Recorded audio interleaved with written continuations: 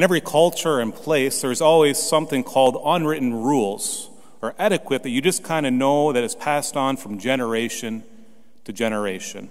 This happens in cultures, it happens in families, it even happens in sports. An example of this is in baseball, there are unwritten rules that you, if you break these rules, that maybe even another rule affects it. One of the unwritten rules in baseball that maybe you know about, maybe you don't know, is if a no hitter is going on, you're not supposed to say anything about it because it might jinx the pitcher. Another rule, in professional baseball at least, is that if you hit a home run, you're not supposed to stand at the plate and watch it. Instead, you're called to act like you have been there before. But if you do stand there and watch the home run, then the next time you're up to bat, you may get plunked by a baseball. It just doesn't make sense, some of these rules, by the way, but they've been passed on from generation to generation. This is in sports. You know, in families, there are unwritten rules as well that you just kind of know that are passed on from sibling to sibling, and that you would tell people as they, as they came to your house as well you know, one of the big rules in my family, and I was like the main advocate for this rule, was no hats in the house. It's kind of like no hats in church, right? But in home, it was no hats in church. And so some of my, in, in, in the house. And so some of my brother's friends would come over and they'd be wearing their hat. And right away I would tell them, Get your hat off. What are you doing? Like it was the most unspeakable thing they could do. But it was just one of these rules that I knew. And so I wanted to spread it near and far. Now I'm sure there are unwritten rules in your family or certain things that don't need to be spoken, you just kind of know them. And this is what's happening today in the gospel as well with the Pharisees. There's an, unspe- there's an unspoken rule with them, and it's all about taking the place of honor. Now, Jesus knows about this rule, and he goes out and he calls them out on it. At least he wants to disrupt them a little bit. So we have Jesus. Let's go back to the parable. We have Jesus going to the house of a leading Pharisee, and goes to a great dinner with them, and it states, On the Sabbath, Jesus went to dine at the home of one of the leading Pharisees, and the people there were observing him carefully. They always observed Jesus carefully, but this time he was observing them carefully as well. So he goes ahead and tells them a parable about those who have been invited. And notice that they were choosing a place of honor at the table. And this was driving, in a certain sense, Jesus not nuts, but he was observing this. And he went to them and he stated, um, he went to them and he stated this certain parable. Now, back then and even now, to a certain extent, there was always places of honor that you could sit. But back then, this was the ultimate unwritten code that you would look around and you would see.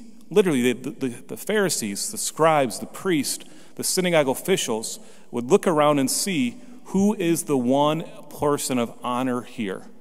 And then they'd kind of go from seating that way from the top to the lowest. And they just know just by looking around, hmm, this is where I fit in. By comparing themselves to others with their fellow guest, and then they'd be able to figure out where they are called to sit. And so Jesus calls them out on this and states, when you're invited to a wedding banquet, now by the way, whenever we hear the word wedding banquet, we should think in any parable that this actually is referring to the kingdom of God because this is what Jesus is referring to.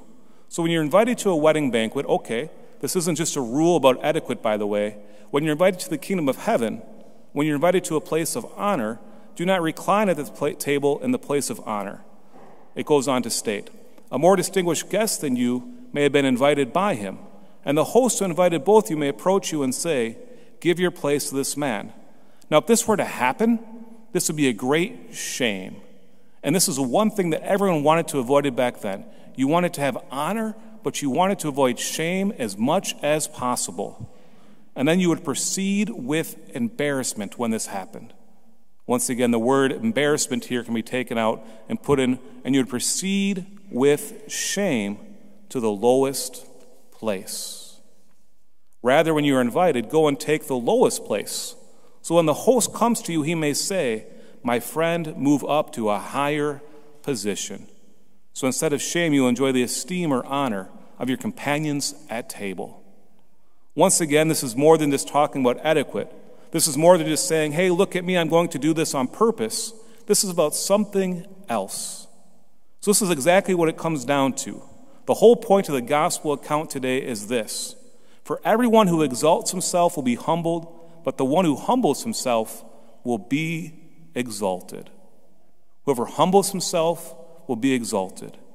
Whoever exalts himself will be humbled. And that's the key. The key for us is to humble ourselves. And when we do this, then we will be exalted by God. We have a tendency to always raise ourselves up or to try to find these places of honor. But in reality, what we are called to do is to humble ourselves. And when we do, who is going to exalt us? The host is. Our friend, as it states in the parable. The host will come and go to us. And the host, by the way, is God. He will be the one who exalts us. He will say, Come to this higher place. You have humbled yourself in this world, and I will take you to a higher place. What does it look like to humble ourselves? Well, put very frankly, it means we do not look at ourselves and say we are the greatest thing since, since sliced bread. No, we are all great. Now we are all great people. Each and every one of us are great people. God created us. He did not create junk. So we know we're great, but it does not mean that we're called to go out there and say, hey, look at me. Look how great I am. He created greatness in you and I, but we cannot think that we are the best out there or that other people are not great as well. What we must do is humble ourselves and say, I am nothing but a lowly servant for God. But in that, there is greatness as well. And we live this life as a servant. We live this life to serve God, not to serve ourself. To humble oneself and to realize there is someone greater out there than us. His name is Jesus Christ. His name is God. And what we are called to do is serve Him. And when we do this, we then are humbling ourselves. We know that we are called to do this, not just in the New Testament, but in the Old Testament as well, as we hear from Sirach. My child, conduct your affairs with humility, and you will be loved more than a giver of gifts. Humble yourself the more, the greater you are, and you will find favor with God. Humble yourself the more, the greater you are, and you will find favor with God. So, the greater we think we are, the more we are called to humble ourselves, to live this life of humility, to live this life of humble service to God. And of course, what we are doing is following the example of who? We are following the example of Jesus Christ, who humbled himself in taking on humanity, who humbled himself on the cross, who lived this out day in and day out, living his life humbly for us. So, my brothers and sisters, this week, this life, this lifetime together, let us live this life with a life of giving and a life of humility.